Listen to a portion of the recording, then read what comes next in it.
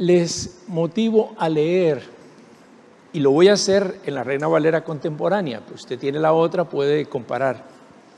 El texto de Santiago 1, versículo 12 al 15.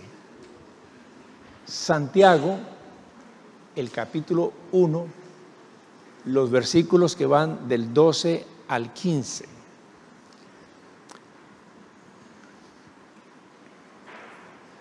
Vamos a leer la palabra del Señor y me gusta que lo hagamos de pie.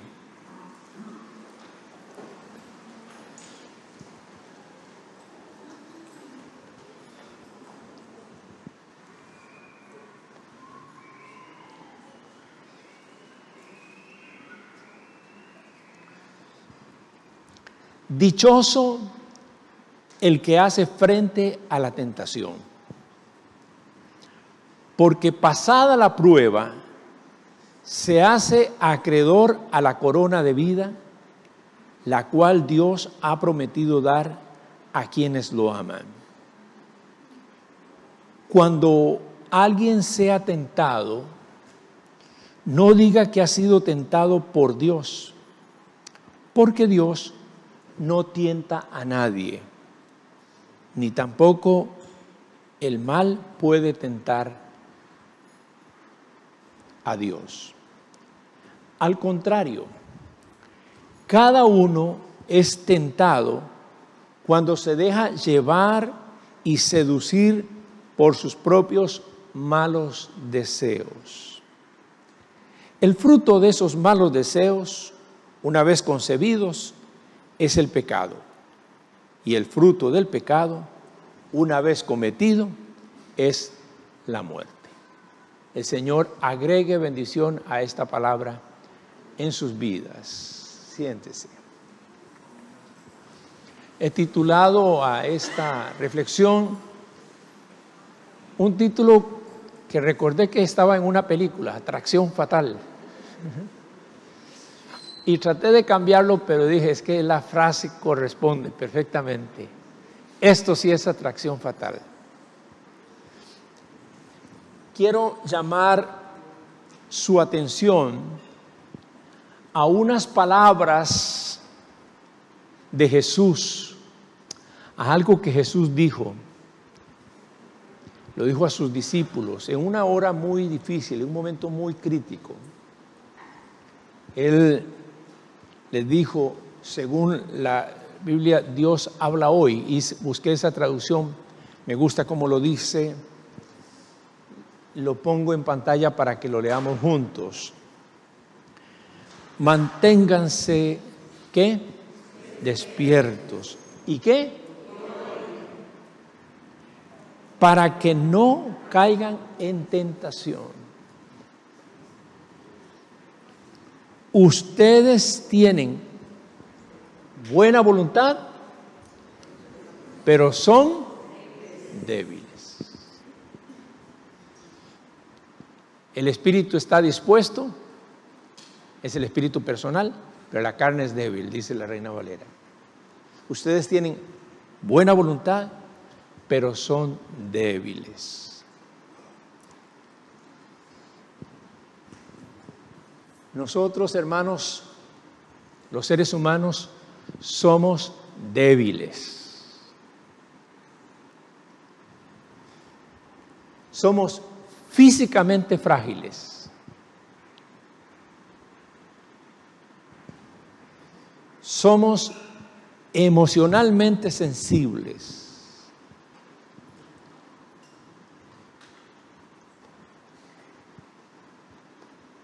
Y somos, ¿qué más? Moralmente endebles.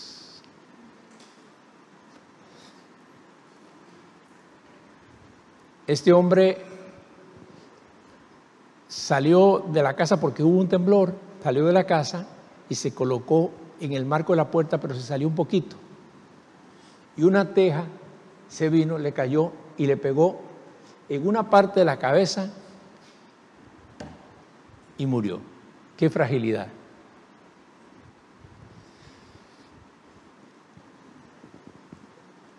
Hay partes de nuestro cuerpo que una vez que son afectados o tocados, pequeñitas partes derriban todo nuestro cuerpo. Nosotros somos físicamente frágiles.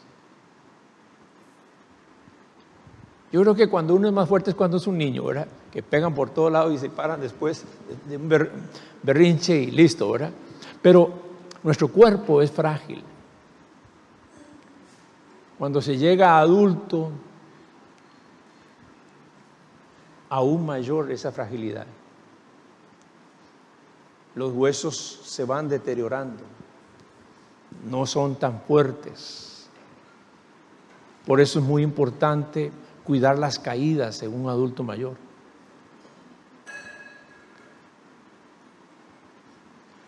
O una comidita que nos demos mal nos puede derribar al estómago. O un breve sereno. ¿Recuerdan ustedes? Decíamos el sereno de la noche. Un breve sereno.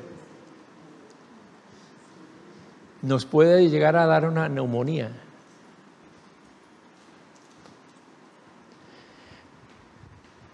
Como decía mamá, cuídense de los chiflones. ¿Recuerdan ustedes? Chiflón. Somos físicamente débiles. Somos emocionalmente sensibles.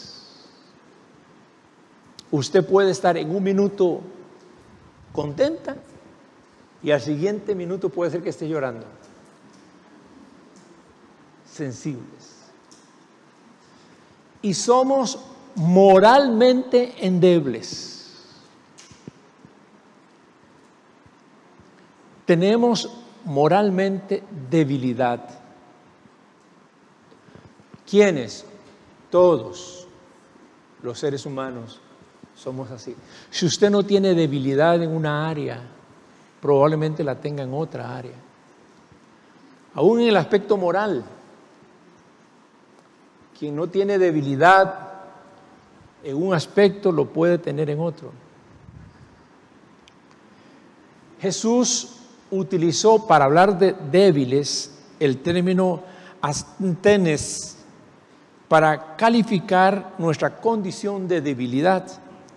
Jesús se refiere a que somos seres sin fuerzas adecuadas. No tenemos los recursos apropiados para mantenernos firmes en la vida. Somos personas sin fuerzas adecuadas. Nuestra debilidad moral es puesta a prueba para faltar a la verdad, para tomar lo indebido, para actuar ofensivamente, para practicar lo incorrecto, para reaccionar de manera impropia, para promover la adicción. En cualquiera de estos aspectos podemos mostrar nuestra debilidad. Puede ser que usted no tiene debilidad en el aspecto sexual, pero tiene debilidad en la avaricia, en el resentimiento, tiene debilidad en, una, en algún tipo de adicción. ¿Me estoy explicando, mis amados? Todos tenemos debilidades. Jesús dijo, ustedes tienen buena voluntad, pero son débiles.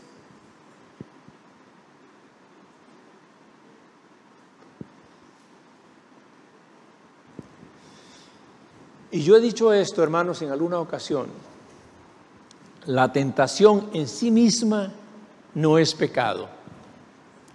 Ceder ante ella da a luz el pecado. Que usted esté siendo tentado en una área de su vida no es el pecado. El pecado es si usted cede a eso. Me da un amén si lo, lo comprende bien. Porque hay gente que se siente muy mal porque es tentada y cree que porque es tentada ya está pecando.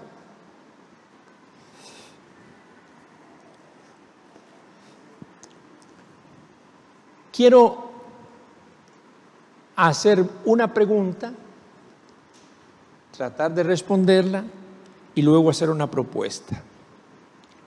La pregunta es, ¿cómo opera la tentación? Este tema yo quisiera poder abordarlo por lo menos una vez al año. La última vez que prediqué sobre este tema fue en el 2015, hace nueve años.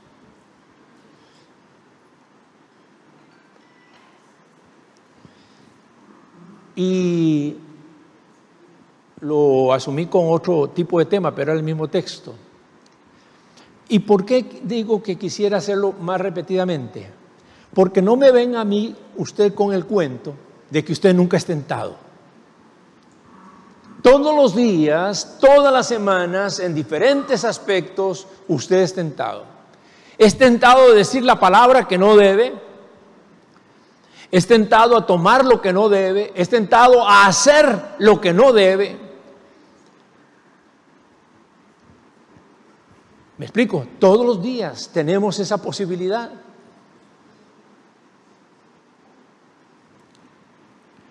Entonces, la pregunta es esta, ¿cómo opera la tentación? Entendamos cómo opera para saber cómo resolver. En Santiago, el texto que leímos al inicio, en el capítulo 1, el versículo 14, lo pongo aquí para nosotros en la versión Palabra de Dios para Todos. Dice, leámoslo juntos versículo 14 y versículo 15. Uno es tentado cuando se deja llevar por un mal deseo que lo atrae y lo seduce. Ve interesante que el escritor bíblico dice uno y se incluye él. Uno es tentado cuando se deja llevar por un mal deseo que lo atrae y lo seduce. Luego, el deseo malo da a luz el pecado. Y el pecado, una vez que ha crecido, conduce a la muerte. La paga del pecado es la muerte. La consecuencia final del pecado es la muerte. La muerte no es un asunto simplemente físico. La muerte es separación completa de Dios. No es la muerte ausencia. La muerte es lejanía de Dios. Según este texto, hay cinco cosas que acontecen cuando uno es tentado. Primero, existe un elemento activador que seduce externamente combinando dos poderes. Me detengo aquí un momento. Hay un elemento activador. Usted va por la calle y de pronto ve algo. Ese, eso que vio, ese es el elemento activador. Es un elemento que te activa algo. Viene de fuera. Alguien que te dijo algo viene de fuera. Alguien que propuso algo viene de fuera. Usted va conduciendo y de pronto alguien le grita algo, viene de fuera. Es un elemento activador. Existe un elemento activador que seduce externamente combinando dos poderes. ¿Cuáles son los dos poderes que combinan? El poder de atraer, excelco en griego, el poder de atraer, como el ratoncito, ¿verdad? Que de pronto ve externamente a él un pedazo de queso. Y ese queso lo atrae, porque si usted le pone un pedazo de acero, no lo atrae. Pero el queso lo atrae, es un cebo que atrae. Usted ve a esa persona y tan pronto la ve, usted se siente atraído por ella. Algo de esa persona físicamente o de su personalidad le atrae y de inmediato usted tiene allí un elemento activador que seduce externamente, combinando el poder de la atracción y el poder de engañar. Porque no se trata solamente de atraer, se trata de engañar. ¿Les ha sucedido a ustedes con algún, quizás algún pastel o algo, que usted lo ve y dice, qué rico que se ve, ¿verdad? Se lo lleva a la boca y resulta que era está podrido o tiene algo malo y usted se sorprende. Pero la atracción viene con un poder de engaño.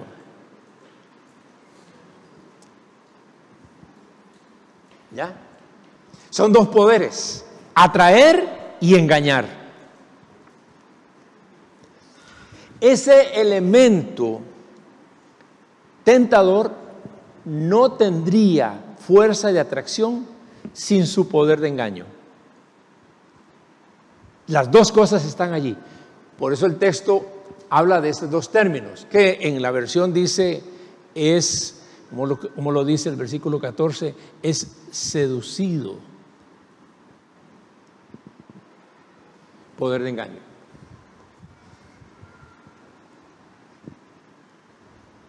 Te atrae y te engaña. Usted va por la tienda, voy a poner un ejemplo que no es pecaminoso, aunque puede llegar a serlo. Usted va por el, por el mall, pasa por una tienda y de pronto ve el vestido de sus sueños. No sé qué, pero fue así. En todas las tiendas usted su mirada se clavó en ese vestido. Y usted se ve puesto ese vestido. ¿Ya? Entonces tiene una atracción.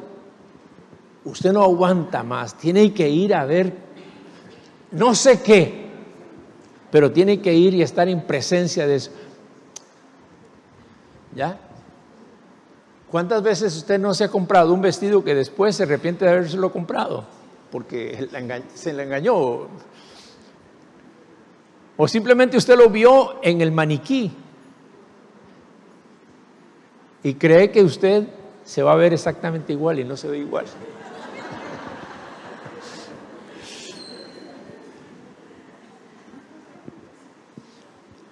La tentación es así, te atrapa, te atrae y con engaño. Eso tiene también que ver con algo importante, hermanos. Cuidado con las doctrinas. Tienen un poder de atraer un pensamiento nuevo, novedoso, algo bonito que se dijo, y sobre todo si se dice con algún tipo de vacilón, entonces eso como que agrada, me atrae eso y me quedo allí con ese pensamiento, lo hago mío y puede ser que no sea el pensamiento correcto. Bueno, primero. Segundo, el elemento tentador, el vestido, por ejemplo, el queso, por ejemplo, la mujer, por ejemplo, o el hombre, ¿eh? la oferta que se te hace, el elemento tentador activa interiormente algo negativo llamado en griego epidosumía, que significa concupiscencia. ¿Y qué es concupiscencia? Concupiscencia son los deseos enfermizos que llevamos dentro. Cada uno de nosotros carga con deseos que son enfermizos. Unos más visibles y otros menos visibles. Unos de más impacto y otros de menos impacto.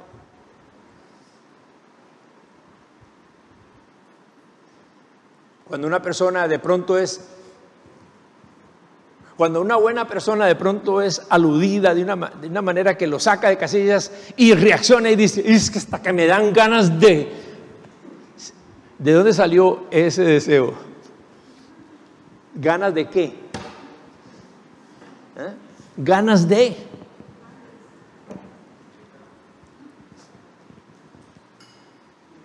¿Me explico? Ese deseo interno, que la Biblia le llama concupiscencia, es un deseo enfermizo que llevamos dentro.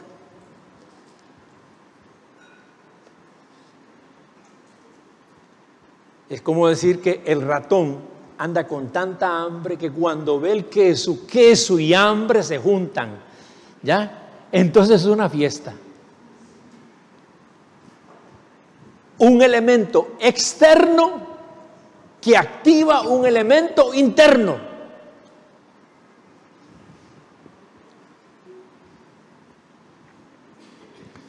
¿Por qué es importante comprender esto, hermanos? Y para que nosotros sigamos la jugada.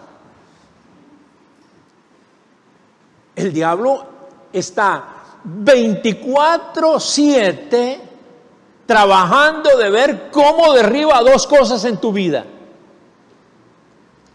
Las dos cosas que Satanás quiere derribar en la vida de nuestra.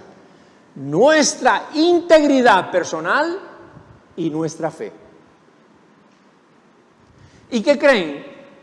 Que Él se abanica todo el día dejando pasar las oportunidades de que usted sea tentado. Para nada. Constantemente Él está buscando.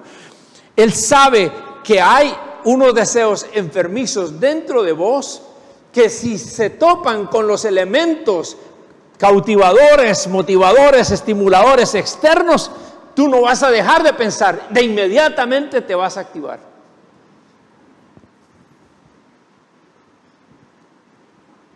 ¿Sabe qué es lo que de alguna manera me inquieta? Que muchos creyentes, digo muchos a propósito, dicen, el día que yo le entregué a mi, vida a Jesucristo, todo se terminó. No, no se terminó todo. Usted tiene que librar batallas todos los días. No se ha terminado. Tú tienes batallas todos los días. Algunas de las cosas internas que llevamos adentro son cuestiones como miedos como complejos, bajo autoestima, algunas situaciones de índole sexual que no fueron bien codificadas o trabajadas en la niñez. Así que hay un elemento externo activador y hay un elemento o una, una reacción interna. Tercero, léanlo conmigo para que despertemos todos. Cuando el elemento externo activa el deseo insano interno, se engendra qué? Hasta este nivel aún tenemos capacidad de resistir.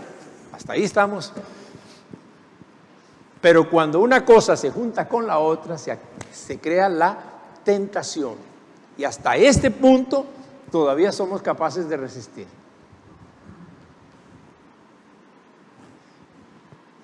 ¿Ha comprendido, verdad? Cuarto, en el momento en que el deseo malo abraza el elemento tentador, se concibe el pecado. Porque usted puede encontrarse de pronto con esa figura. Qué mujer más guapa. Y usted está activando algo interno que es una debilidad suya. Si, si la encuentra, no hay problema. Pero en el momento en que usted junta las dos cosas, entonces sí, se engendra la tentación y se concibe el pecado. Es decir, ¿en qué momento el ratón peca? El ratón llega y huele el queso. Está tan cerquita que lo huele. Todavía no ha pecado. Pero en el momento en que abre las mandíbulas y las cierra sobre el queso, ha pecado. Estoy hablando figuradamente. El pecado. Usted contempla esa, esa persona, esa, esa situación la contempla por semanas, por semanas. Los ambientes de oficina son muy propicios para la tentación. En muchos sentidos, no solamente sexuales.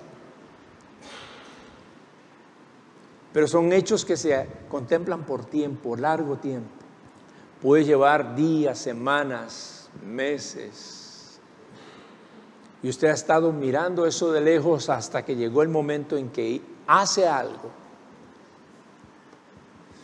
Jesús era más radical porque Jesús decía, si miras a una mujer y la codicias en tu corazón, ya has pecado. Quinto, cuando ese pecado se desarrolla, o sea, se hace habitual y fuerte, se da luz la muerte. Es lo que el texto está diciendo. El texto aquí lo dice en Santiago, dice, el fruto de esos malos deseos, una vez concebidos, es el pecado. Y el fruto del pecado, una vez cometido, es la muerte. Ahora, repita esto conmigo. Nada ocurre de repente. No, mi amor, es que de repente esa muchacha se me metió. No, no, no. Nada ocurre de repente. Hay muchas cosas que pueden estar sucediendo porque tus deseos internos pueden ser que tengan mucho tiempo ahí enfermándose dentro de tu mente, dentro de tu espíritu, dentro de tu ser, hasta que aparece un activador y listo. Puede ser que ella apareciera de repente, pero, como uno dice, pero realmente el problema está aquí. El debilitamiento moral es resultado de un proceso de declinación o deterioro espiritual. Algo se viene perdiendo poco a poco. Hasta que llega a estar... Una persona está débil espiritualmente después de un proceso de deterioro. No es que usted hoy está fuerte en el Señor y mañana amaneció débil. No, siempre hay un proceso. Una cosita va sumando a otra y a otra y a otra hasta que cuando usted ve que la persona cometió el error o el pecado, ya habrá caminado una larga distancia entre el punto inicial de debilitamiento espiritual. Mis amados, hay que despertarse, dice Jesús, y orar. Hay que estar vigilantes y orar. Cada uno de nosotros es responsable de su vida espiritual. Por más que te, que te quiera o te estime como yo te estimo, yo no puedo ser la persona responsable de tu vida espiritual. Tú eres la responsable, tú eres el responsable de tu vida espiritual. Cada uno es responsable de vigilar por sí mismo. Y aquí voy a la segunda parte, que es la propuesta. Enfrente la tentación. La tentación usted la tiene, pero no siempre la enfrenta. Enfréntela. Y voy a hablarle de cuatro cosas que hay que hacer, que se deben de hacer. Primero que nada, evítela. No se le ponga por delante al, tren porque lo puede matar. Evítela. Si usted sabe que hay algo que es para usted un problema de manejo, evítelo. Si usted sabe que usted tiene una inclinación pornográfica, evite las películas que tengan escenas pornográficas. Si usted sabe que tiene problemas de avaricia, evite meterse en situaciones donde la avaricia se va a activar.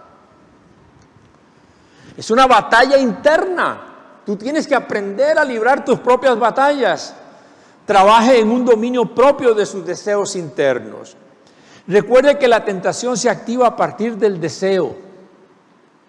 Así que controle sus deseos. Siempre recuerdo en Reina Valera del 60 esta versión que dice Eclesiastés 10:8, el que haga un hoyo caerá en él, y al que aportille el vallado lo morderá la serpiente. ¿Qué significa esto? Si usted se pone a hacer un, hoyo con una pala para poder hacerlo, si es ancho con mucho más razón, pero si es hondo igual, para poder hacerlo tarde o temprano tiene que meterse en el hueco para poder hacer el hueco. El que hace el hoyo cae en él. Y en la antigüedad las canastas donde habían las serpientes tenían unas tapas. Dice, el que le abre la tapa a la serpiente, ella no está diciendo puedo, sino que inmediatamente encuentra una luz, sale de una vez atacando, lo muerde la serpiente. Así que evite hacer el hoyo o evite abrir la canasta. Tienes que evitarlo. La primera cosa es evitarlo. Amén. La segunda cosa, usted dice, es que no pude evitar. No era que yo huí, es que de pronto estaba ahí. Entonces, resístala. Santiago 1.2 dice, dichoso el que resiste la tentación. ¿El que la qué? Resiste la tentación.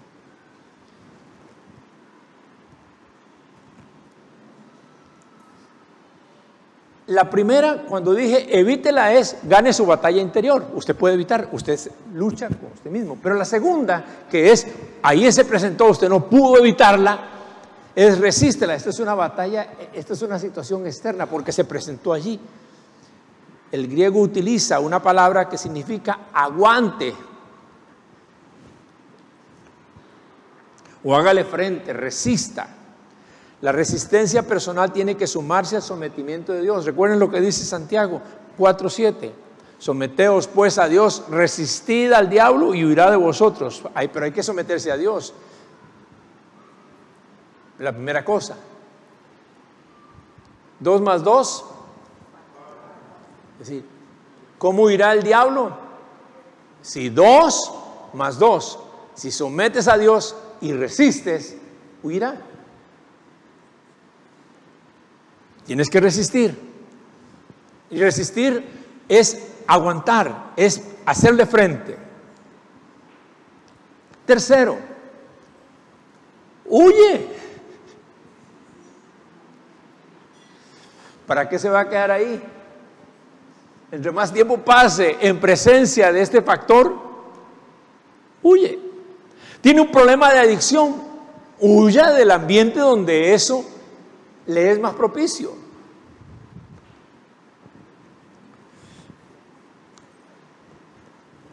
Huir no es cobardía, es sabiduría. Pablo advierte en sus cartas, dice, huyan de la fornicación, huyan de la idolatría, huye de las pasiones juveniles. ¿Se dan cuenta? No es una palabra que se me ocurra darles, no, es que ahí está Pablo diciendo, lo dice reiteradamente. Y el apóstol Pedro en 2 de Pedro 1.4 dice que los cristianos somos aquellos que hemos huido de la corrupción que hay en el mundo a causa de las pasiones. Hemos huido. Hay que salir huyendo.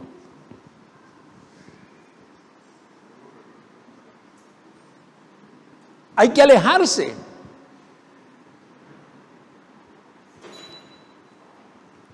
Si usted sabe que el contacto con este, activador le va a traer consecuencia y huya del lugar, huya de la situación, aléjese. Finalmente, cuarto, fortalécete. Volvamos otra vez al texto de Jesús. Lo leemos juntos. Manténganse despiertos y oren para que no caigan en tentación. Ustedes tienen buena voluntad, pero son débiles.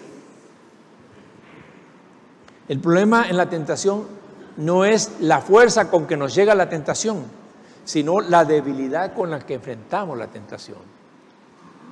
A veces la tentación no es tan fuerte, es que uno es débil.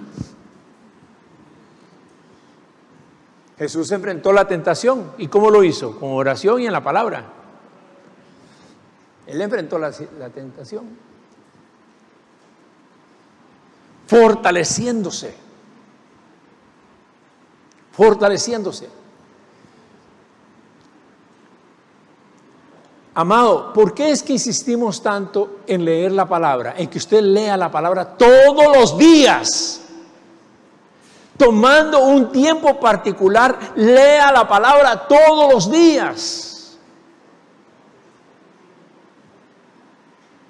No deje de hacerlo. ¿Por qué? Porque eso fortalece tu espíritu. La palabra tiene un poder que genera vida. La palabra de Dios es un poder que recrea. La palabra de Dios es un poder que convierte. La palabra de Dios es un poder que engendra. La palabra de Dios es un poder que revoluciona. La palabra de Dios es un poder que genera fuerza. Lees la palabra y si la lees con un espíritu despierto, con un anhelo en tu corazón, vas a recibir siempre algo que te da fuerzas. Pero la segunda cosa es fortalecerte en la oración.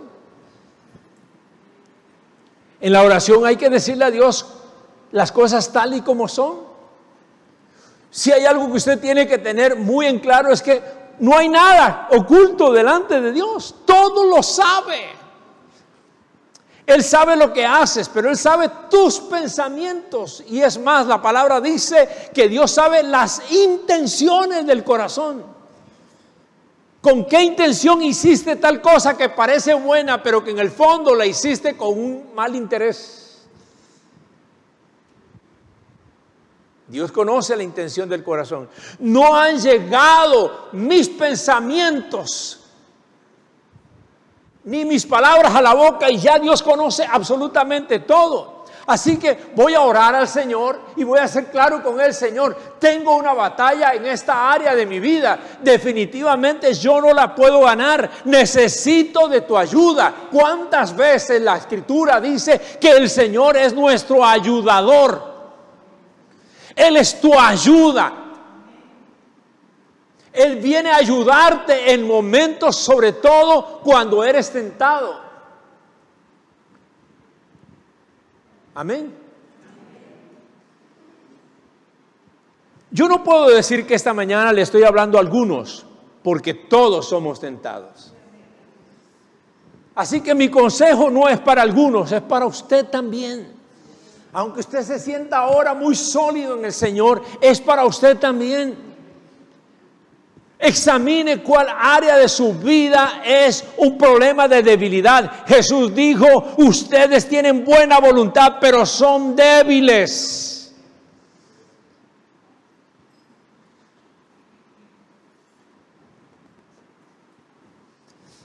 Bien, ¿qué es lo que esta mañana puedes hacer ahora mismo aquí? Puedes hacer cuatro cosas. Se las digo muy rapidito. Número uno, ¿lo, di conmigo? Identifique y reconozca sus debilidades.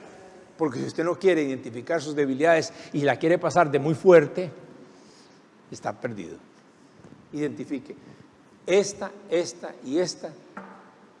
Y quizás usted tenga que decir esta, esta, esta y esta. Tal vez tiene que agregar más. Pero esta es mi debilidad más fuerte o estas son mis debilidades. Identifíquelas y reconózcalas delante del Señor. Señor, te reconozco que esta es una área de debilidad mía.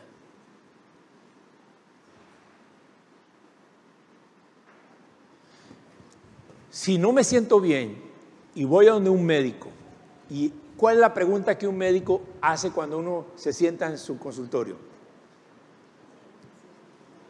¿Eh? Le puede preguntar qué le duele o en qué les puedo servir, qué es lo que está sucediendo. ¿Qué es lo que el médico quiere saber? ¿Quiere que yo le cuente lo que yo identifico? Yo no voy a llegar a decirle, mire doctor, vengo aquí porque a mi esposa le duele, ¿verdad? Porque no tiene sentido, mejor es que ella le lo diga. Yo llego para decirle, mire doctor, es que yo de hace días estoy con esto y esto, y comienzo a decirle, aunque yo no sé cuál es el diagnóstico o el dictamen, pero yo comienzo a decir lo que yo siento. Identificar y reconocer la debilidad es la primera cosa. Número dos, dígalo conmigo, rinda sus debilidades al Señor. Mi hermano y yo cuando éramos niños, mi hermano es más fuerte físicamente, bueno, ahora no lo sé porque no lo hacemos hace muchos años, pero cuando éramos chiquillos nos poníamos en, las, peleas. Algunas las ganaba yo, pero la mayoría las ganaba él. ¿Y cómo terminaba ganando? Era cuando lograba ponerme boca abajo, ¿verdad? Es decir, estar boca arriba, yo más bien, y él encima, con las dos manos sosteniéndome las mías, y decía, se rinde,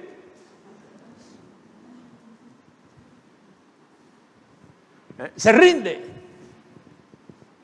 Mi táctica era que yo lo agarraba, mi hermano era muy, muy cosquilludo, decía la gente, lo agarraba y le hacía mucha cosquilla, ¿verdad? Entonces, y le decía, se rinde. Hay que rendirse. Decirle, Señor, yo no puedo, yo no tengo fuerzas, no es por mi fuerza, no es mi capacidad. Cuando yo me veo, estoy gritando. Cuando yo me veo, estoy eufórica. Cuando yo me veo, me encuentro realmente ansiosa. Estoy en esa posición, no la puedo controlar. Me rindo a ti. Rindo mis debilidades.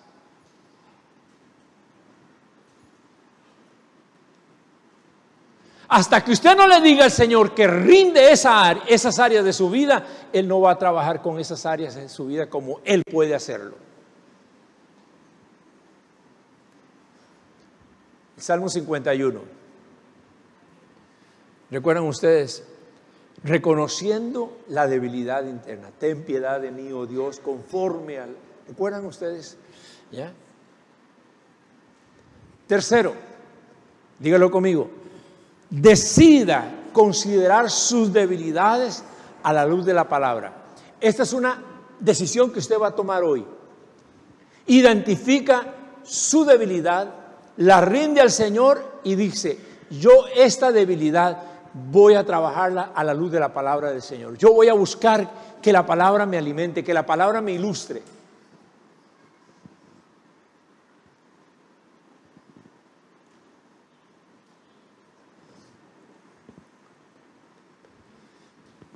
Claro,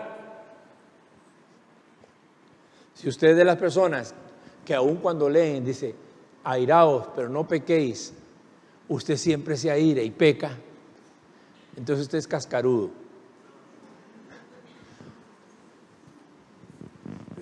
Cuando digo examinar la palabra es que yo voy a ir a la palabra y voy a verme como si me veo ante un espejo, mis hermanos. Ante el espejo. Esto dice la palabra, Señor, esto dice la palabra. ¿Qué dice la palabra sobre la avaricia? ¿Qué dice la palabra sobre la codicia? ¿Qué dice la palabra sobre el adulterio? ¿Qué dice la palabra sobre eh, eh, el robo? ¿Qué dice la palabra sobre el chisme? ¿Qué dice la palabra? Me explico, sobre las, cualquier área de debilidad. ¿Qué dice la palabra? Y hoy, miren hermanos, usted no tiene casi razón. Ahí en su dispositivo usted pone en el buscador qué dice la palabra de Dios con respecto a tal cosa y le sale un montón de artículos que le van a ilustrar, por lo menos para que escoja los textos bíblicos que correspondan.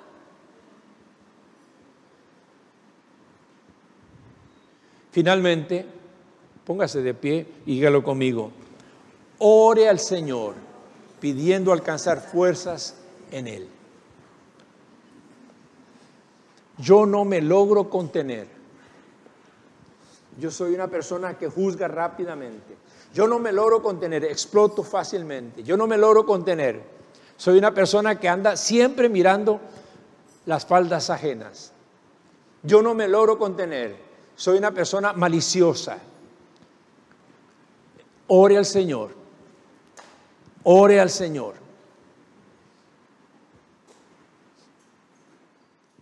Dichoso el que hace frente a la tentación, porque pasada la prueba se hace acreedor de la corona de vida, la cual Dios ha prometido dar a quienes lo aman.